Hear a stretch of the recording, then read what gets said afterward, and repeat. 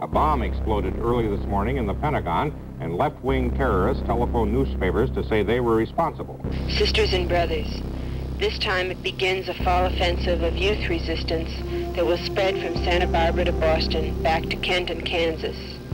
Now we are everywhere, and next week families and tribes will attack the enemy around the country.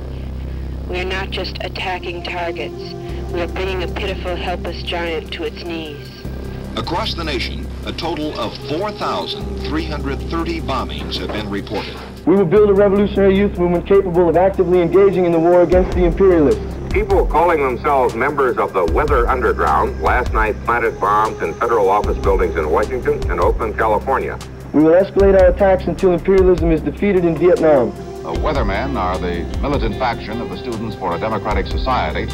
We're going to be on the streets and in every institution in this country from now on. We're going to replace capitalism with socialism. This is very much what happens with the lefties. When they lose an idea war, they escalate the propaganda war, which then results in the actual physical war, the physical combat, the civil war. And if you see anybody from that cabinet in a restaurant, in a department store, at a gasoline station,